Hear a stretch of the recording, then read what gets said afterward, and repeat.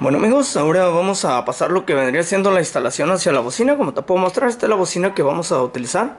Es una bocina marca Gravity de 1200 watts de 4 ohms. Te puedo mostrar la salida de una bobina y la salida de la otra bobina. Este es el amplificador. Positivo, negativo. Es solamente lo que vamos a usar para ejemplo. Es un amplificador para bajos. Y te muestro las salidas de, ya las tenemos conectadas.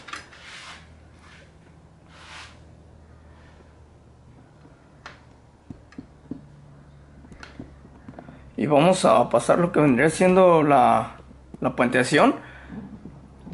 Aquí vamos a hacer la puenteación de una sola bocina. La vamos a vamos a hacer de una puenteación en serie.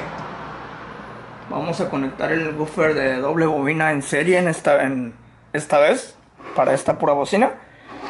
Y en serie sería así. Te voy a mostrar. Este sería el cable positivo del amplificador. Y este sería el cable negativo del amplificador. Te voy a mostrar. Vas a correr el cable positivo de tu amplificador hacia la entrada de, la, de una de las bobinas, la que tú quieras, que en este caso yo voy a usar esta, que sería el rojo.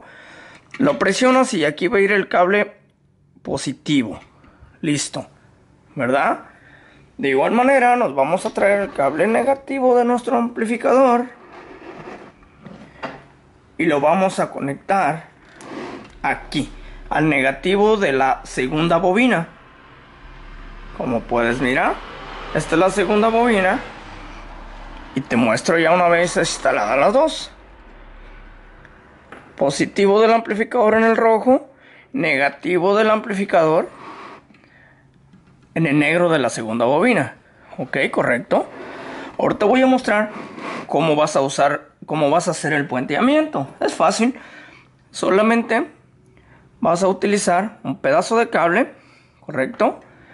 Y este cable va a ser uso de lo que vendría siendo la otra salida de la bobina, que sería el negro, el negativo. Lo vas a conectar aquí pequeño pedazo de cable y lo vas a correr hacia el positivo de la segunda bobina.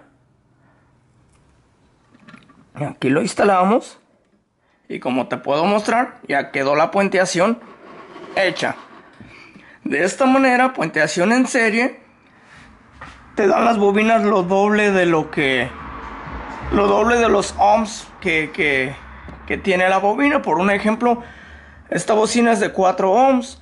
De esta manera, de esta puenteación en serie, nos va a dar equivalente a lo que vienen siendo 8 ohms. Por ejemplo, una bocina de 3 más 3 ohms te daría equivalente a 6 ohms. De igual manera, 4 más 4 igual a 8 ohms. Y así sucesivamente.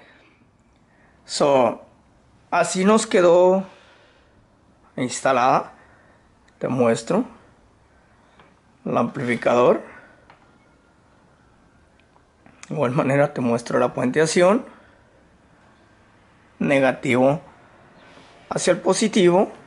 Y igualmente te muestro el positivo que va directamente a lo que vendría siendo el positivo del amplificador.